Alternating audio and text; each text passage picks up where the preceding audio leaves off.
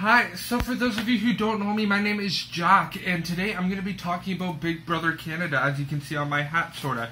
Um, but I'm going to talk about that this show that's currently being put on hiatus, Jared, whatever that's going to mean right now. I'm talking in this corner, in the middle of my room, because I want to talk about this show, why I love this show, why I love this franchise of the Big Brother uh, Big Brother network that we have with Big Brother UK, US, so on and so forth. But I want to talk about my experiences with the Big Brother Canada franchise and why I love it, why I am so sad to see it go right now, and I hope that it comes back in the 2019 season. Um, and let me tell you why I love it and why I'm so passionate about this uh, TV series. Being a proud Canadian, being someone who loves watching reality TV and everything, staying up till four or five o'clock in the morning watching the feeds because really, that's all I really want to do. Um, I hack into the American feeds, get the Canadian feeds, and it's it's a show that I love. Like I've started watching the UK series because of the Canadian series. They what I love about the American series was as I started watching it in season three. I watched the two premiere episodes, didn't really like, uh, wasn't really interested in it till I got to season three. Loved the steampunk theme, loved the show, and I realized how much I screwed up in not judging the book by its cover. So I delve into season two, delve into season one. After season three ended, loved it, and it's an amazing show because it's not like Big Brother US where it's just bullshit and buffoonery. No, it's actual genuine moments. They cast house guests that know and have a great story to them. You see, um, that like I, I feel like so they bring Nikki and Tim in to the international house guests from season four. Huge huge people to bring in the house. You're bringing two people that have never played in the traditional North American format, and it was phenomenal to see them play.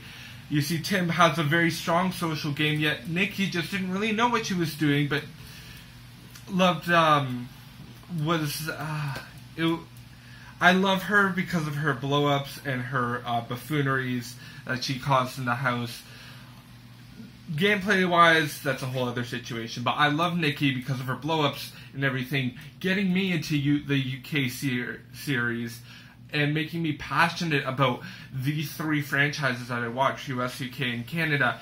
And then there's Tim, who's this huge social mastermind who loves this game, loves the whole social aspect of it. He is a king at persuasion, influence, and understanding people's motives. And I love that because watching his season in Australia, completely different than the UK or US and everything like that. But it made me love the show so much more. It made me love the Canadian season and everything. Having the will and the ability to bring international house guests onto the show made this series, this Canadian season, so much better than the American, than the uh, UK because they were willing to try something that turned out to their benefit. Now, moving forward, I have a whiteboard right there. That's why I have like a bunch of cliff notes of why I love this show. Um, Arisa Cox. Shout out to Arisa. Oh my goodness. She is not just a host, she is a fan. And that's what makes this show so great, is that she is willing to go and talk on Twitter about the house guests in the house. She's not afraid of her opinion. She will talk to you about the great moments in the house. She's not just a fan, she lives in the lifestyle that we all as super fans are have. And I think that's what's great about it. She's not afraid to go on like reality recaps or rap and talk about why he, she loves Big Brother and why she loves the Canadian version. And that's why I feel it's great is like when you have a host that loves the show as much as I do and as much as anybody in this fandom does. It's it, it's what makes the show better because when you have a super fan hosting the show, you know it's done right because she's this passionate, sweet person. I've been to the live tapings in Toronto Great experience. Saw Christine get evicted.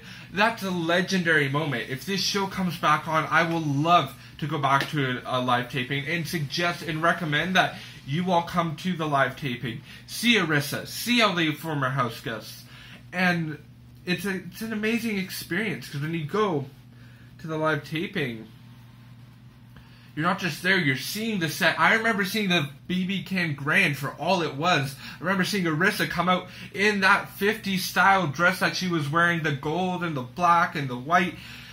Beautiful dress. It's on my Twitter. Um, and it's just, you can't underestimate that moment when you're watching this show, when you're watching it with Arisa, with Peter Brown, with uh, Sarah Hanlon, legends who I love from this show. Remembering seeing, um, uh, remember seeing Christine walk out of that house and think, "Wow!" So I remember seeing them all vote for uh, to vote Christine in week number two. Arisa taking the um, the crowd's audience, like the audience's um, poll of who thinks is going to go out in that week, and it's such a great week. It's such a great opportunity. That's why I love this show because when you, it's not just a, um, it's not just a show. It's not just something boring, simple, or whatever. No, it's an experience. It's a lifestyle that we all have to live. Um, in order to enjoy and experience, like the house guests in the house experience the craziest, wackiest twist that in America would probably never happen. In the UK would probably never happen. So it makes us uh, such a great separation from the American and the, uh, the UK series because it's we make our own twist. We had our first triple eviction where we had Willow and Kevin leave the house in season three. We had Dre and Will um, leave in season five triple evictions were just a huge, great addition for a twist, and I just that's why I love it because you have these great moments um, that you, you, can rant about for hours. Um, I, I met I met a great friend that I have right now, like um, uh, I, I've I've been so happy and so proud to have her as someone who I can talk to about Big Brother, about Survivor, about all these reality shows that we watch, and we can talk about it. We can talk about the UK series. We can talk about anything that has to do with our lives. And I've grown such a great relationship. I'm so happy that I've gotten to form it with her because it's made me understand the show on such a different level when you're talking to someone face to face rather than on Twitter or then on Reddit and everything like that. And I'm so happy that um, I've had that experience, and I'm so happy that I've had the opportunity to talk here on my phone, on Instagram. Um, you can see I am sweating. I am a hot mess right now. Okay, shout out to um, the weather, which is hot even though it's raining right now, as you may hear. Um, hopefully you don't. Um, I'm getting sidetracked. Um, but yeah, like she, it's such a great experience. Like I never knew about the live tapings until I met her, and the way I met her was she was wearing a Big Brother Canada shirt, and I'm like, yo, how in the hell did you get that shirt? And she's like, oh, I went to the tapings. And I'm just like, yo. And that's how our friendship began, two weeks before we were about to graduate in grade 12. Because it's like, what do you, what else do you do? Um, and I'm so happy for that. Um, and then what else? We have challenges. The challenges, the set design, the house alone beautiful. I want to give a shout out to anybody who had to do anything to build the house and like construction, all the challenges. Like, they're insane. It's amazing to see that they put so much effort, so much love into the house, the sets, and the challenges. And it's beautiful. Like, having this, having the black hole, having the, um, what else? Having the um, BB Can Odyssey, which was something that was just beautiful. Having the steampunk um, like house in season three, the halfway have not room in season two, um, having the uh, vault in season three, and like the secret room in season two, and like the house in season one, which was like a bit quirky, but that was just that's just how it is. Like these sets, these um, this house is phenomenal. You can see how um, it's so different from the Americans, but I it's something that I love. Um, it, it was just like it, it's it's up to UK type um of like proportions where it's like they change each season or each year they change the house for a different um like for a different cast so um and that's what made it so much better It's like you never know what the twists are you never know what the um the ch- uh, changes are because it all depends on the house um what else we have uh just the house guests alone. I have to give a shout out to them because you know what? You have these legends now in the Big Brother Canada history books. You have um, Neda, Jon Pardy, um, Kevin, Dre, William, um, all the house guests. Liza Stanton, who I never really got the uh, like season one of Big Brother Canada until I watched her series about it and her recapping this season on YouTube. So thankful for that. So thankful for um, like everything um, that's happened. Like I want this show back because I still want that to happen. I still want house guests to enter that house, have the opportunity that all the legends in the past um, have had, because it's what makes this show great. It's it's not just the house. It's not how the house looks. It's the people in the house and how they interact in the house. Allison in season two, um, being the house guest nominee, like like the um, house guest that entered into that house halfway through and had to wiggle her way to the end, or however however far she made it. I'm sorry, I'm like, yeah. um, like Wake Up Canada. You had like Adel from Big Brother Canada too, like these great genuine moments. Is like that you never get in a season of US, never get in a season of um, UK because it's Canada. We're just a bunch of nice human people doing shit. Um, like you, like you have to think about it. Kenny coming out to Sarah in season two, having this emotional bond, emotional connection that really, although was beautiful, sealed their fate in the double eviction, and it like these great moments that like I love and I cherish because it's you never get that when you're in the American season or um because it's what makes Canada Canada. Like I'm I've never stayed up till 3 a.m. watching the feeds until I started watching season four of Canada on the feeds. Um, like it's what makes this show great is like watching the feeds, um, getting interacting with the fandom, getting to like subscribing to one of the people that I would have never not or never have watched unless Canada came along, which was reality recaps. Like shout out to shout out to them because I know they work their ass off and it's it's what makes this show great. It's like um, it's like I remember going to like the taping and then it's so weird to have people that you that are similar to you, um, who love the show as much as you do, but you are just uh, like we all have our own little social groups, but it's sort of weird, like being in a room with people who love the show as much as I do. And it's it's something that I never really gotten to experience until I went there. And I'm so thankful for that. I'm so grateful that I got to go to the live taping. I got to watch the show. I had the opportunity to um, have like started to pick a Reddit flare, enter a trash draft, enter, um, like see all these challenges go down and like get into sort of like the mind of people psychologically on how this show is and why I love it so much. Um, what else? Like season one. Season one was like, because I backwatched it all, and then I season one sort of was wasn't the classic season, but it just got us off the ground. It made us love the show. It made it the Topaz moment where she screwed up the vote because she thought it was vote to evict, but no, it's vote to win.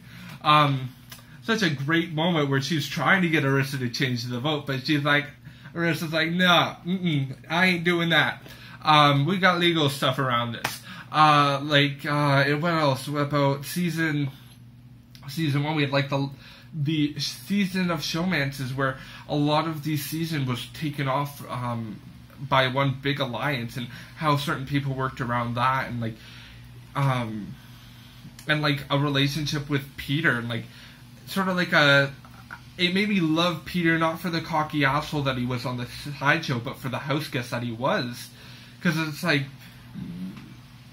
um, you have to see past people's characters that they play, and like I learned that from like Parhar from watching a podcast that he did with Dan Gheesling. It's like it's just a character, like, and then you have like it just made me understand the game more and more from like a casting perspective, from a um, from like a uh, perspective of like why it's so different now when you enter the house in the first week and why it's so important that the first week gets shown yet versus why it's not and why um, and just how interesting it is um, I, I love this show like season one was an amazing season for just it being that it was the first it wasn't the best in my opinion but it may have been better for you in your opinion it, it like I love Gary. I love Peter. I love all the housemates in season one that did something to um, change the game. That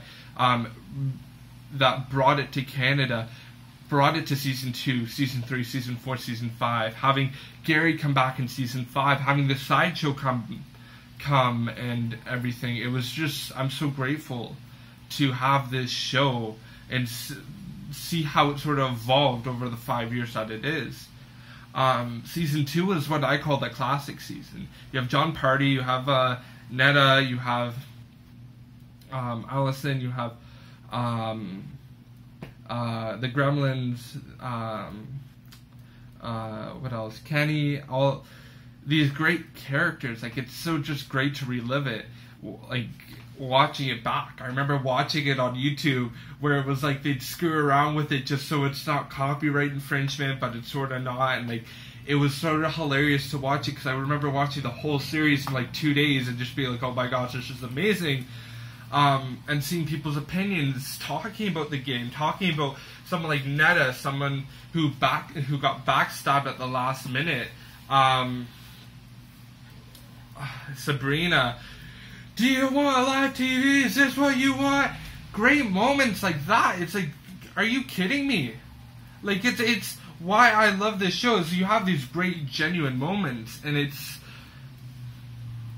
uh, it's something that I really love and um, cherish for because it's it's not like oh you're doing um, like season two was like the classic season for me because everybody sort of got along no one really tried to kill each other. Nobody really tried to um, murder each other.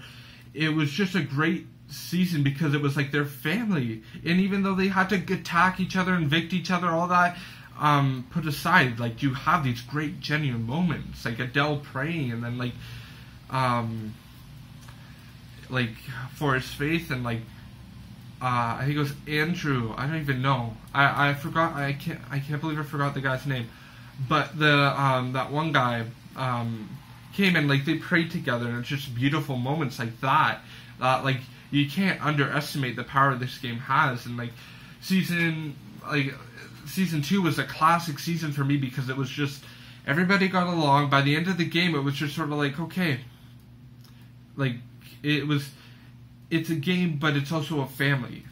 Like, and I that's how I felt when watching season two season three was the first season I watched, as said before, and it just I love the steampunk season. I love all the twists. I loved all the um, craziness that was there. The triple eviction was insane, hilarious, sad, um, crazy. I still love Willow. Still wish that if this show comes back, she will come back with it if she can. Um, just great moments like. Um, season three, like Godfrey making it to the end, and yet he's sort of like he's a player that gets praised yet um, pooped on because it's like, what kind of game did he actually play? And it's like it's amazing to see how um, a lot of people view his game, and I think I liked his game. I didn't hate his game. I didn't like it was sort of funny and random. You had the chop shot at chop shop at the beginning of the season um, with Greg with. I shook Greg's hand. That was such a great moment. It's like I remember walking up to him after the live taping, and we're taking pictures with like the whole cast, and like I, I shook his hand. and I was just like, "Fuck!" His hand was strong. That's all I remember about him, and being him being like all huge and muscly and shit. And I just like I remember it's just like, "Oh my god, that's Greg right there." And then it's like, uh, yeah, I remember him telling me, "It's like just stay in there." I'm just like, "Okay, good." Um, like just those moments because it was just hilarious. Um,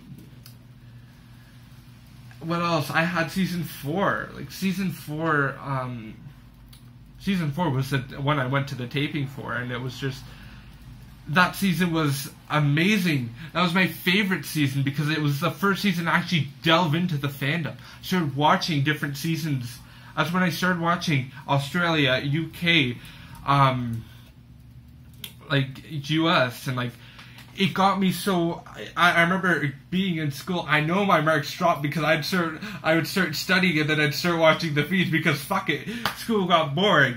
Um uh, i remember watching the feeds and like um my favorite feeds moment was nick and phil shaving like nick phil or um i think it was um phil getting his head shaved by nick and his uh, uh like they're just talking and stuff and then Mitch and Raul come in with like whipped cream and start having a whipped cream fight, and the house went crazy. It's just just this random moment where they're running around trying to get each other hit with whipped whipped cream, moisturizer, all that crazy shit, and it was just like something I just loved. I couldn't help but not watch it. And then them, Nick and Phil just go and back and uh, just just sort of, although they had whipped cream on their face, just go back and she, she giving each other haircuts.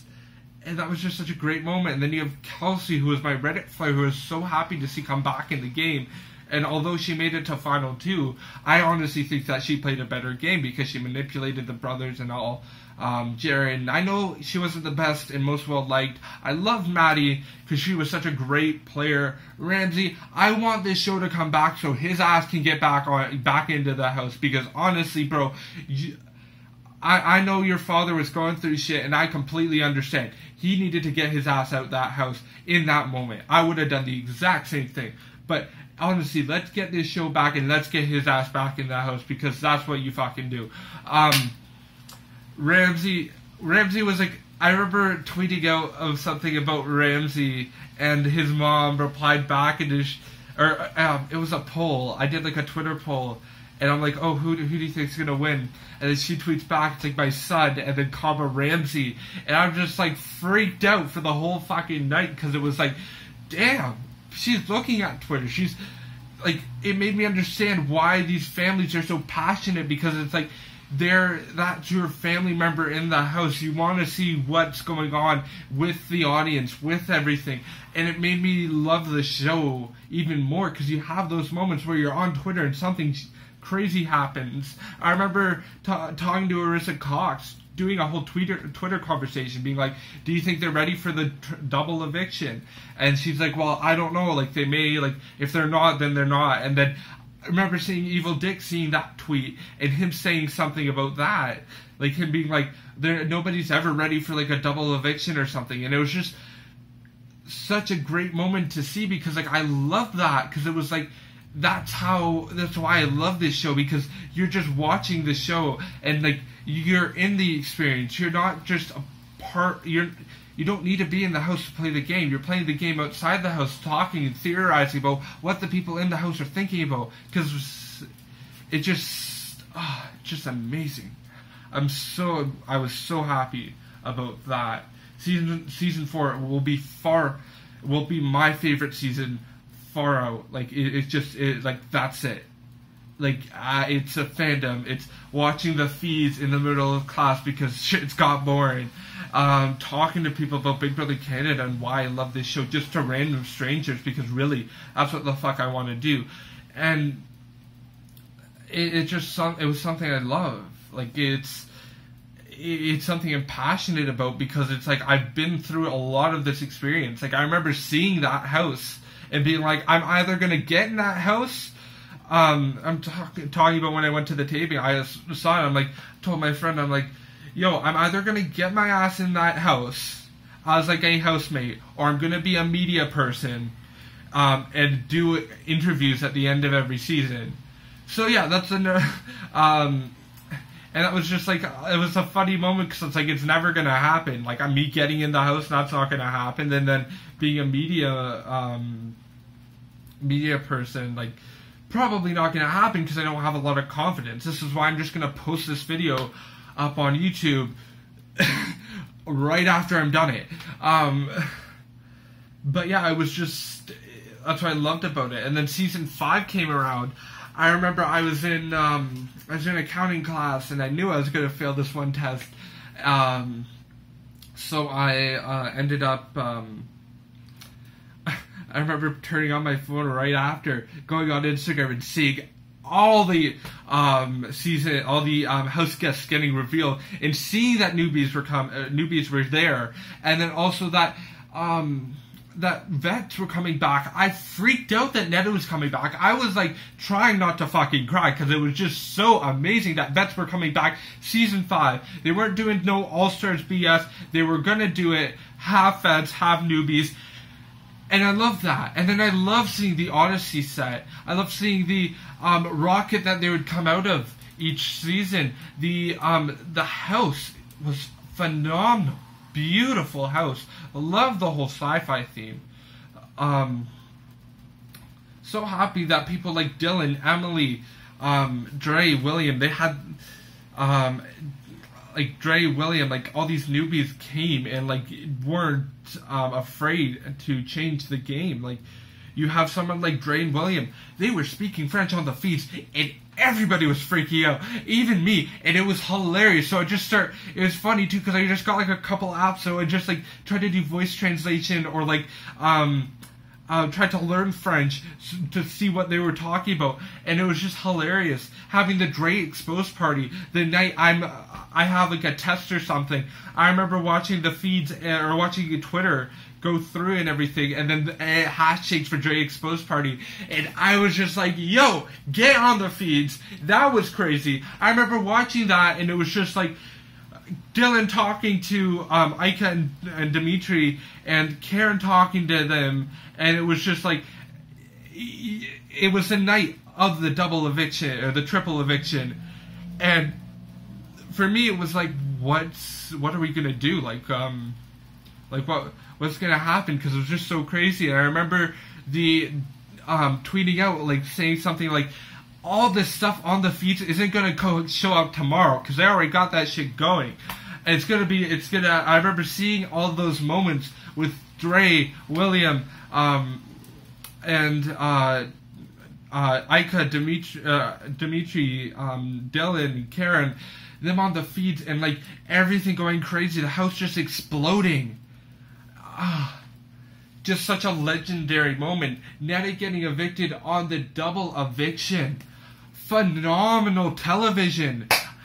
Ika, you're gonna go home, and it's like, yeah, I know. Neda's being a cocky B, and like, yo, I'm so happy that like those moments where Ika's promising your ass that you are going home, and it's like, yes, Queen, that's how you do it. You know, like, although a lot of these vets flopped and not fluttered, they it what it's what made that season amazing. It's like the feeds weren't that bad. Like feeds weren't like amazing, but it was like you get these genuine moments um, when you um, like staying up till 3 a.m. watching the button competition, where they had to stand there and like Dylan running and grabbing food and like.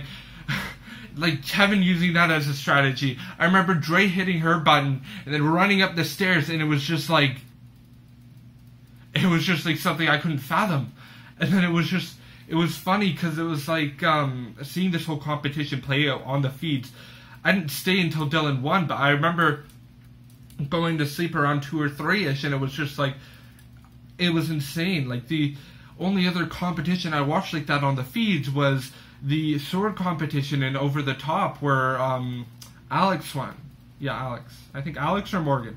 Um, I'm pretty sure Alex. So but like those moments where you're standing there watching the feeds, trying to figure out what each other's motives are, and it was just like, damn. Um, and like you see Bruno come back, and Bruno was like a huge social player, and he played it a, a somewhat different version of his game, and then you have um like Kevin, Kevin winning the game with Karen, that Kevin, that Kevin fucking Martin. Um, uh, what was it? It was like, um, I don't even know at this point. I'm just like too um, jumbled to try like the, just like Karenisms, like how she wants Kevin out because uh because uh, like really like Ke- Kevin she felt like Kevin didn't really deserve to win compared to D- Ika or Dimitri. And like just those moments like that you see the first HOH still in the game until final 2 great moment because um like it's never happened a like making big brother history with the first guy out of the house in um in the Cana- in a canadian i think north american series too as well.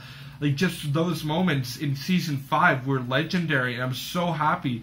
And like although the emoji thing didn't work out which is really stupid in my opinion um and like they over advertised it and everything it was a good season and i was so happy to see it and like although I didn't have time to make it to the taping, I I was so happy to have this season to have um, Ika Dimitri um, play the game and having um, uh, like Emily play the game, which was a bit weird, but like just all these players and like um, uh, play the game and like be um, I remember watching the feeds and seeing the Six Alliance form with Neda, Dimitri, Ika, um, and like all the vets and stuff. Like I remember watching that in the Have Not room and then seeing it in the episode and being like, "Fuck, that was an important moment." And then just like, like you have those moments where you're watching the feeds and then you see it on the show. It's like that's the thing with Canada. It's I, I was so happy for those moments, and like it, it's just so surreal. Like, um, I remember watching the feeds and like, um, Kevin being like, "So Karen, is that final two deal still going on?" And then she just go off on him, and I could not stop laughing. And like, it's just those moments of why I love this show and why I want, I want to see it back in 2018 and uh, but if not 2019, because you have a great host, some great, great cast, great house guests, great house, great competition. And honestly, it's not even about the house or the competition. Um, like, uh, like it's it's the whole idea of it being a reflection on society, and it being a reflection on um, the house, like on, on people alone. Like Sarah Hanlon said it best. Like it's a microcosm of life, and that's what I love about this show. Is like it is a microcosm of life and how people function in society and I'm so grateful that I had this opportunity to um, rant about this on my phone, um, trying to get this sh- show back on. And I hope that if someone from Corus does see this, I hope that you don't block me, you don't do anything kind of stupid or anything. Just know that, like, this is a super fan that doesn't like to like doesn't like to go outside that often because really I'd rather not get a tan and watch the feeds. um, I'd rather theorize about the different Big Brothers going on right now. I'd rather um, do a bunch of crazy stuff. If someone from Corus or um, Global was watching this, I hope that you see that I, am someone who's that passionate about this show. I'd love to see this show back because it's not just a um, show. It's a like like a show. It's a real um, look into life, and it's important to see that like this fan base can expand if you. There's ways that you can have this show back and make it profitable, make it um, good for uh, it to run. Like you just look how the American series has done it. Um, so yeah, like I hope that if you're seeing this, if you're watching this, if you're um, if you've gotten to this point so far that you see how passionate I am and how know that there's more of me, more of other people like me that love this show. And if you can use the hashtag Save Big Brother Canada, um, try to let's try to get this show back. Let's um, let's try to, if not anything. I know I'm gonna look like an idiot doing, or like I sort of feel like I'll feel like an idiot watching this back in five years. But right now, I know that I love this show. I love what the show is and what it represents, and I don't want this to be the first peg in the um, Big Brother series to have the domino effect for other series. I want this passionate fan base that loves this show as much as I do, and I hope that if you're seeing this YouTube video, um, tweet, get the message out, talk on a video, like make your own video like this, and talk about why you love this series, why you love Big Brother Canada, and why you want to see it back. Don't be afraid to use your voice. Like, let's get it loud. Let's get it heard. Like, till 2019, um, I hope to rant about Big Brother in the future. So thank you for watching. Like, if feel free to comment, feel free to like, like, subscribe. Even though I will probably not be posting a lot of YouTube videos because I don't have a lot of confidence, but still, feel free to do that. Um, and yeah, thank you for listening and spread the message.